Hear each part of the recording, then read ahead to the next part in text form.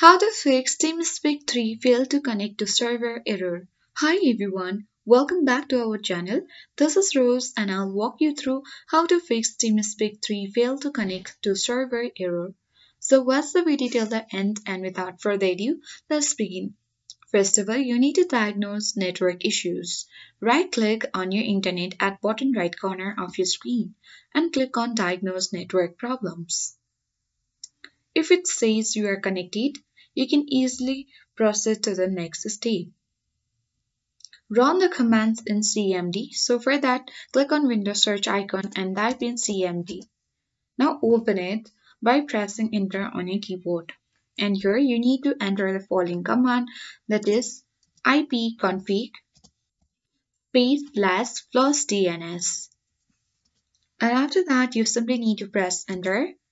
And here again, you need to type in netsh winsock uh, space and again resets and you need to press enter on your keyboard and restart your PC. You need to check whether your issue resolved or not. If not yet, you can change the DNS setting. For that, again right click on the start icon and go to settings.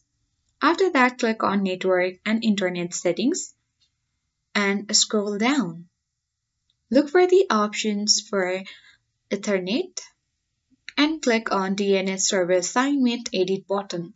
Here click on the drop down arrow and click on manual and turn the button on for IPv4 and you have to save the DNS to preferred DNS that is 8.8.8.8 and alternate DNS to 8.8.4.4 and you need to save the changes and click OK.